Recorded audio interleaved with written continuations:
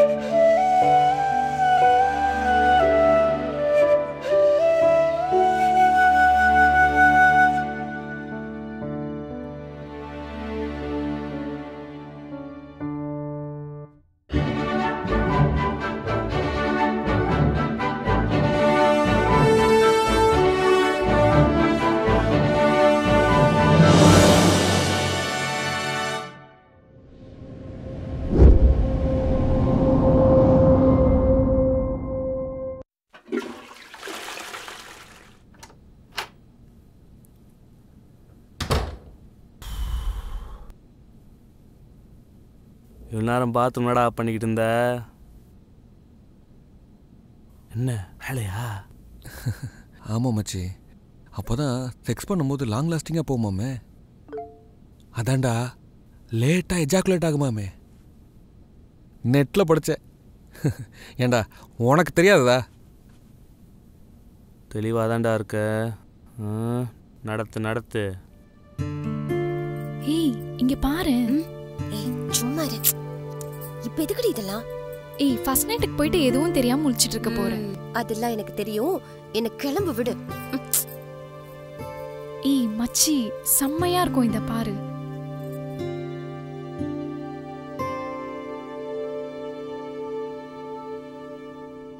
மச்சான் அப்புறம் இன்னொரு விஷயம். இந்த காலத்தில் லவ் மேரேஜ் அரேஞ்ச் மேரேஜ் தனித்தனியெல்லாம் கிடையாது. ஏற்கனவே லவ் பண்ணிட்டு பிரேக்கப் ஆனவங்க தான் யாருனே தெரியாதவங்கள அரேஞ்ச் மேரேஜ் பண்ணிக்கிறாங்க. எப்படி வேற பொண்ணை லவ் பண்ணிட்டு பிரேக்கப் ஆனதும் அரேஞ்ச் மேரேஜ் பண்ணியிருக்கியோ அது மாதிரி. ஆ கேளு. அதே மாதிரி பாஸ்ட் லைஃப்லையும் ஏன் பொண்டாட்டி யாரையாவது லவ் பண்ணியிருக்காளான்னு அதானே? அதெல்லாம் ஒன்றும் இருக்காது. பொண்ணு பார்க்கும்போதே எல்லாம் கேட்டுட்டேன். அவ இது வரைக்கும் லவ்வே பண்ணதில்லையா? அப்படிதான் மச்சான் சொல்லுவாங்க. ம், சரி நீ ஒன்று பண்ணு. ஃபர்ஸ்ட் நைட் அப்போ எல்லா பொண்ணுங்களும் எமோஷ்னலாக தான் இருப்பாங்க. அந்த டைமாக பார்த்து நான் உன் பாஸ்ட் லைஃப் பத்தி கவலைப்பட மாட்டேன். நீ யாரையாச்சும் லவ் பண்ணியிருந்தாலும் பரவாயில்ல. என்ன உன் ஃப்ரெண்டாக நினச்சி எல்லாத்தையும் ஷேர் பண்ணிக்கோமா அப்படி நான் சுக்கா கேட்கணும்டா மயங்கி போய் கூட நீ யாரையாச்சும் லவ் பண்ணியிருந்தா சொல்லிடாதடி அப்படி சொல்லிட்டேன்னு வச்சுக்கோவேன் நீ உண்மையா இருந்தா கூட எவன் கூடயாவது சேர்த்து வச்சு பேசுவானுங்க சந்தேகப்படுவானுங்க. ம், சரி சரி. அதெல்லாம் நான் பாத்துக்கிறேன்.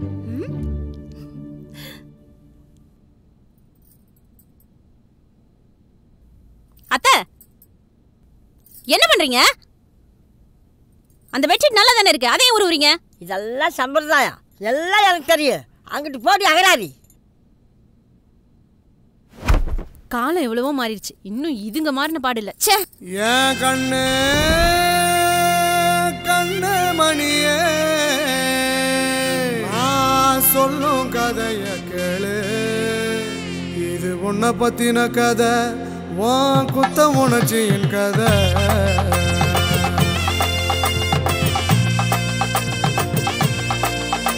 ஏய், பண்ணு இளம வந்தா காதல்னு வரவு வரும். காதல்னு வரவு வந்தா நேரமெல்லாம் செலவு போகும். நேரமெல்லாம் செலவா போனா வாழ்க்கை இங்கு காணா போகும்.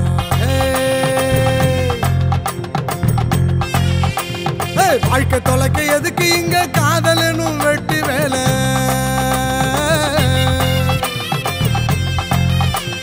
காதலுன்னு ஒண்ணு இல்ல எல்லா ஹார்மோன் செய்யும் மாயலீல.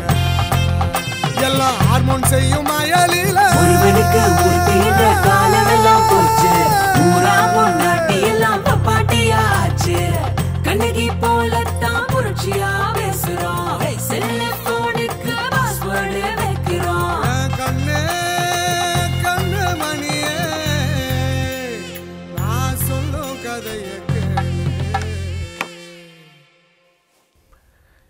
ஏன் அவ்வளோ தூரத்தில் உட்காந்துருக்க இங்கே தான் இவ்வளோ இடம் இருக்குல்ல. பக்கத்தில் உட்காரலாமே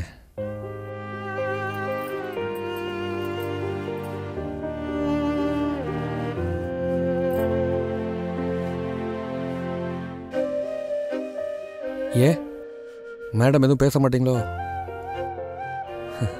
சரி சரி. அந்த பாலையாவது எடு. குடிப்போம். பசி உயிர் போகுது.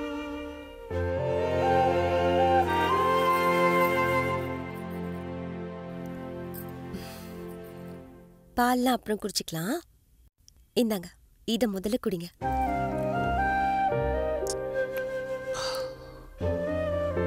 என்னடி இது? வாட்டர்மெலன் ஜூஸா? லைட்டாக புளிக்குது. பட் நல்லா இருக்கு. நீ பண்ணியா? ஆமா நான் தான் பண்ணேன். இதுல வாட்டர்மெலன் லெமன் ஜிஞ்சர் இது மூணுத்தையும் ஒண்ணா போட்டு அடிச்சு ஜூஸா குடிச்சா இட்ஸ் a நேச்சுரல் வயாகரா பாருடா இதெல்லாம் தெரிஞ்சு வச்சிருக்க? அதெல்லாம் இருக்கட்டும்.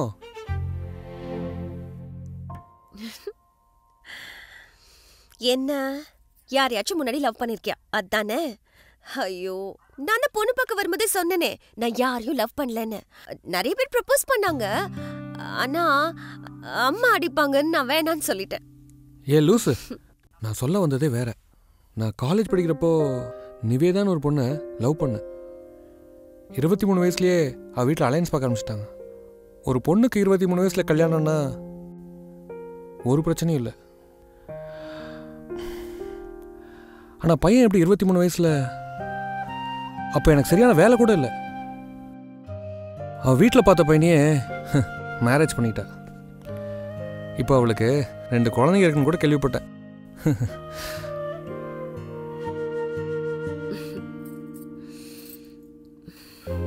இங்க பாருங்க. பாஸ்ட் லைஃப் பத்தி பேசி ஃபீல் பண்ணி எந்த யூஸும் இல்ல. பாஸ்ட் லைஃப் பத்தி பேசினா பிரசன்ட் லைஃப் நரகமாயிடும். நீங்க என்கிட்ட எதுவும் சொல்ல வேண்டாம். உங்க பாஸ்ட் பத்தி எனக்கு எந்த கவலையும் இல்ல. இனிமே நம்ம ஹாப்பியா இருக்கிறது தான் லைஃபே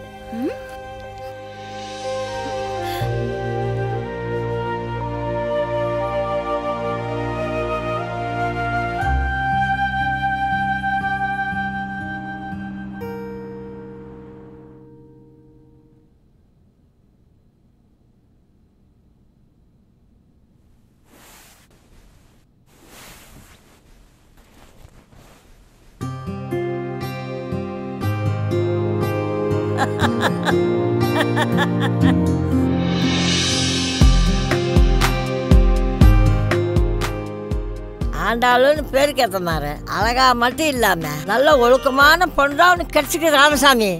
நல்லா இரு. நூறு ஆயுஷா இரு. சந்தோஷமா இருங்க. சண்டை போட்டுக்குங்க. ஆனா விட்டு கொடுத்து போங்க. ஆண்டாள் நான் கண் கலங்காமல் பார்த்துக்கிறேன். நீ சந்தோஷமாக போயிட்டு வாங்க.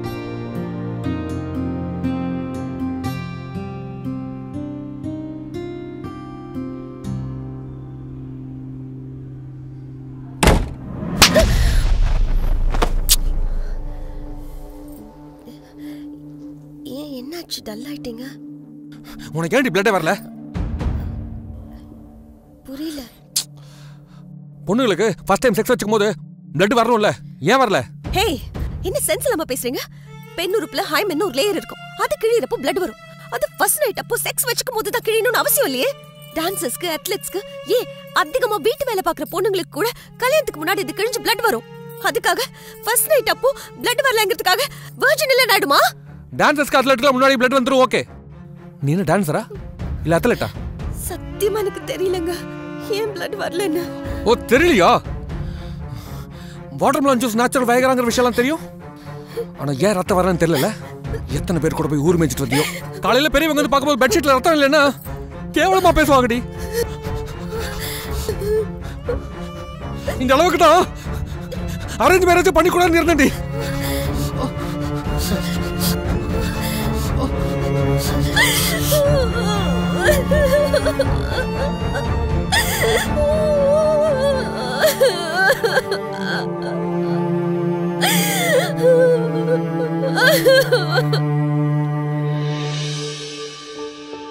சரி விட்ரா ஒய்ஃப் தான் லவ்வே பண்ணதில்லன்னு சொல்கிறாள இதுக்கு மேலே என்ன பண்ண முடியும்? தேவையெல்லாம் யோசிச்சுக்கிட்டு லைஃப் ஸ்பாயில் பண்ணிக்காத.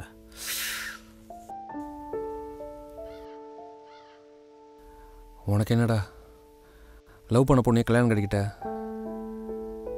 மச்சான் நான் கூட ஒன்று கேட்கணும் தப்பாக நினைக்க மாட்டில்ல? உண்மையை சொல்லணும்டா. கேள்றா.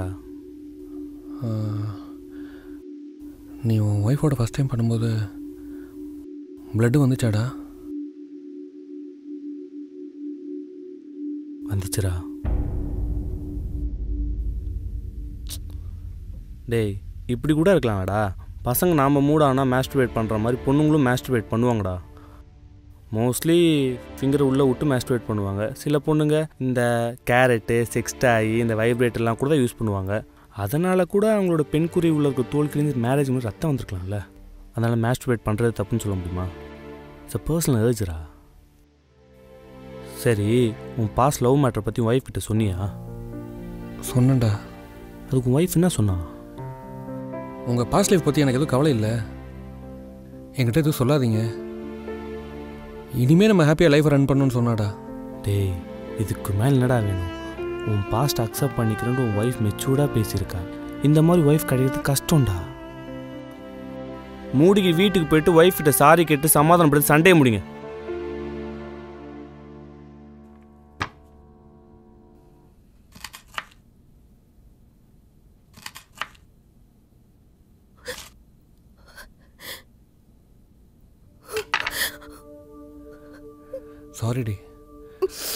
கோவத்தில் லூஸ் தனமா? வாய்க்கு வந்தபடியெல்லாம் பேசிட்டேன்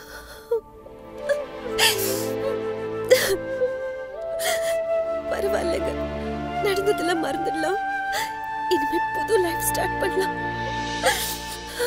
சரி சொல்லு. ஏன்டி பிளட் வரல? சொல்லுடி. ஏன் உனக்கு பிளட் வரல? உனக்கு முன்னாடி எவனாவது ஹேண்ட் ஜாப் பண்ணி விட்டானா சொல்லுடி. சொல்லு. ஏன்டி பிளட் வரல?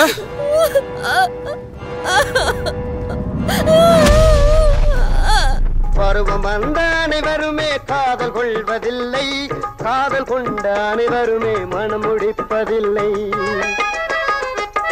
பருவம் வந்த அனைவருமே காதல் கொள்வதில்லை. காதல் கொண்ட அனைவருமே மனம் முடிப்பதில்லை. மனம் முடித்த அனைவருமே சேர்ந்து வாழ்வதில்லை. சேர்ந்து வாழும் அனைவருமே சேர்ந்து போவதில்லை. ஹலோ அம்மா எப்படிம்மா இருக்க? அப்பா எப்படி இருக்காரு? எனக்கு என்னம்மா? என்ன அவர் ராணி மாதிரி பாத்துக்கிறாரு. உன்னையும் அப்பாவையும் வந்து பார்க்கணுங்கிற எண்ணமே போயிடுச்சுன்னா பாத்துக்கோயே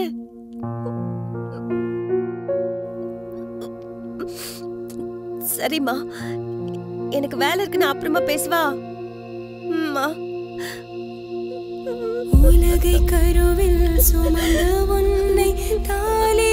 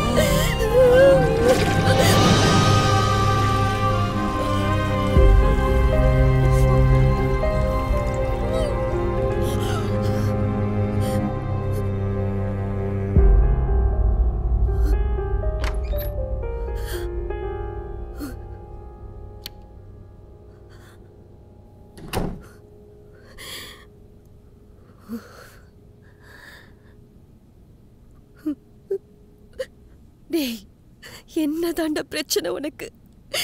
கேவலமா கல்யாணம் ஆகி ரெண்டு குழந்தை பெத்தவ கிட்ட போய் செக்ஸ் சாட் பண்ணிட்டு இருக்க சை வெக்கமல்ல இப்போ உனக்கு என்ன?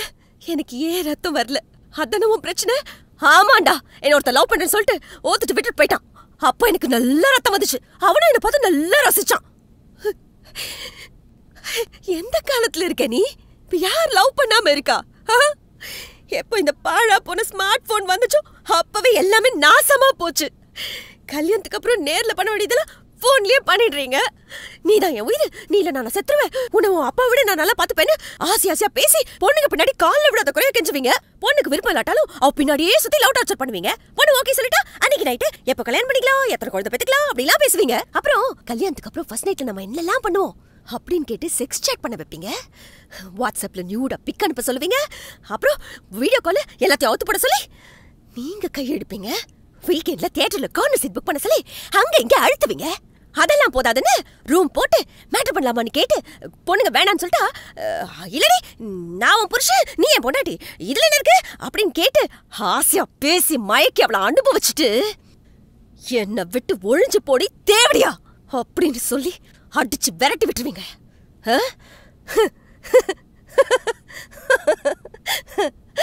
என்னப்பா? வடுகுப்படி ராமசாமி உன் பொண்டாட்டி வேர்ஜின் இல்லைன்னு தெரிஞ்சதும் அப்படி உடம்புல கூசுதோ? இதுக்குதான். நானும் எதுவும் சொல்லல. உன்கிட்டயும் எதுவும் கேட்கல நம்ம பாஸ்ட் லைஃப் எப்படி இருந்தாலும் பரவாயில்ல. இப்போ நம்ம வாழ்ற வாழ்க்கை சந்தோஷமா இருந்தா போதும் தானே நினைச்சேன் நான் உனக்கு உண்மையா தானே இருந்தேன். ஆ? சொல்லு. ஆனா நீ எனக்கு?